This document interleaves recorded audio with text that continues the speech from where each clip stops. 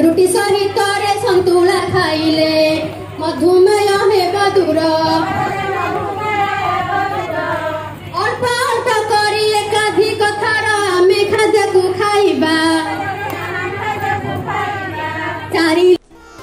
ପୁଷ୍ଟିକର ଖାଦ୍ୟ ଗ୍ରହଣକୁ ନେଇ ରହିଥିବା ପାରମ୍ପରିକ ଆଚରଣ ସମ୍ପର୍କରେ ମହିଳା ଆରୋଗ୍ୟ ସମିତି ଏମ୍ଏଏସ୍ ସଦସ୍ୟଙ୍କ ଦକ୍ଷତା ବୃଦ୍ଧି ସଚେତନତା ସୃଷ୍ଟି କରିବା ଏକ ସୁସ୍ଥ ସମାଜ ଗଠନ ଦିଗରେ ଆଜିର ସମୟର ବଡ଼ ଆହ୍ୱାନ।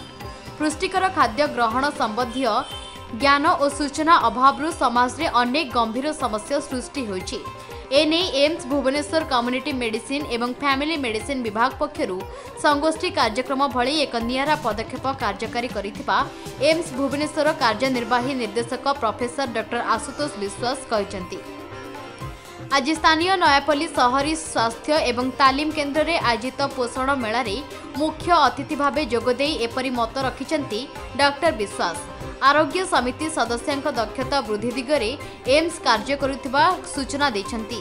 ଜାତୀୟ ପୋଷଣ ପାଳନ ଅବସରରେ ୟୁନିସେଫ୍ ସହଯୋଗରେ ଏମ୍ସ ଭୁବନେଶ୍ୱର ପକ୍ଷରୁ ଏହି କାର୍ଯ୍ୟକ୍ରମ ଆୟୋଜିତ ହୋଇଛି।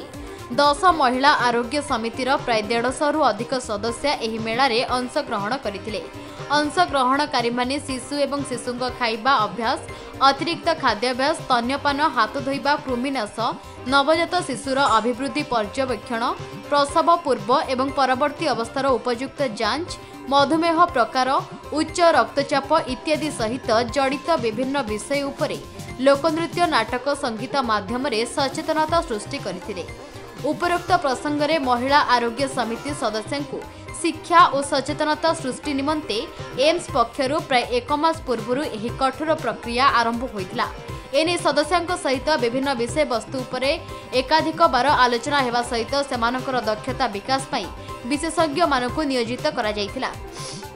ସାଧାରଣ ଯୋଗାଯୋଗ ବ୍ୟବସ୍ଥାର ଉପଯୋଗ କରି ସେମାନଙ୍କର ଦକ୍ଷତାକୁ ପ୍ରଭାବଶାଳୀ ଢଙ୍ଗରେ ପ୍ରଦର୍ଶନ କରିବା ନେଇ ଚେଷ୍ଟା କରାଯାଇଥିଲା ଏହି ମେଳାରେ ଏମ୍ସ ଭୁବନେଶ୍ୱର କାର୍ଯ୍ୟନିର୍ବାହୀ ନିର୍ଦ୍ଦେଶକ ପ୍ରଫେସର ଡକ୍ଟର ଆଶୁତୋଷ ବିଶ୍ୱାସ ଏମ୍ସ ବିବିନଗର ତେଲେଙ୍ଗାନା କାର୍ଯ୍ୟନିର୍ବାହୀ ନିର୍ଦ୍ଦେଶକ ପ୍ରଫେସର ଡକ୍ଟର ବିକାଶ ଭାଟିଆ ରାଜ୍ୟ ପରିବାର କଲ୍ୟାଣ ନିର୍ଦ୍ଦେଶକ doctor Bijay Kumar Panigrahi AIIMS Bhubaneswar community medicines ଏବଂ ଫ୍ୟାମିଲି ମେଡିସିନ୍ସ ବିଭାଗୀୟ ମୁଖ୍ୟ doctor Sonu S Suba doctor Soumyaranjan Parida doctor Binod Kumar Behera doctor Pragyan Paramita ଗିରିଙ୍କ ସମେତ ବହୁ ସ୍ଥାନୀୟ ଜନପ୍ରତିନିଧି ମଧ୍ୟ ଏହି ଉତ୍ସବରେ ଉପସ୍ଥିତ ଥିଲେ ଏପରି ପୋଷଣ ମେଳାର ଆୟୋଜନ ସମାଜର ପୃଷ୍ଟିକୁ ନେଇ ଆଚରଣଗତ ପରିବର୍ତ୍ତନକୁ ପ୍ରୋତ୍ସାହିତ କରିବ ବୋଲି ଅତିଥିମାନେ ଆଶାବ୍ୟକ୍ତ କରିଥିଲେ ବିଶେଷକରି ଆରୋଗ୍ୟ ସମିତି ସଦସ୍ୟଙ୍କ ପକ୍ଷରୁ ନାଚ ଗୀତ ଓ ନାଟକ ମାଧ୍ୟମରେ ପୃଷ୍ଟିକର ଆଚରଣଗତ ପରିବର୍ତ୍ତନ ଉପରେ ସଚେତନତା ସୃଷ୍ଟି କରିବାର ପ୍ରୟାସକୁ ଅତିଥି ଏବଂ ଉପସ୍ଥିତ ବିଶିଷ୍ଟ ବ୍ୟକ୍ତିବିଶେଷ ପ୍ରଶଂସା କରିଥିଲେ ଶ୍ରେଷ୍ଠ ପ୍ରଦର୍ଶନକାରୀ ଦଳକୁ ଟ୍ରଫି ସହିତ ପୁରସ୍କୃତ କରାଯାଇଥିବା ବେଳେ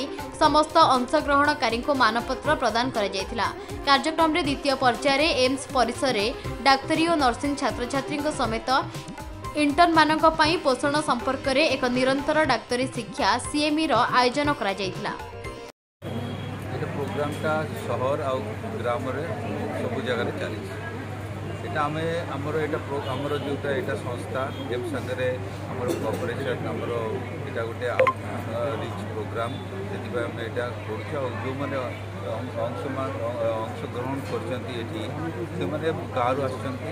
ଆଉ ଏଇଟା ସବୁ ସମସ୍ତେ ମିଶିକି ଏଇଟା କରାହେଉଛି। କପରେସନ୍ ସାଙ୍ଗରେ ଚାଲିଛି।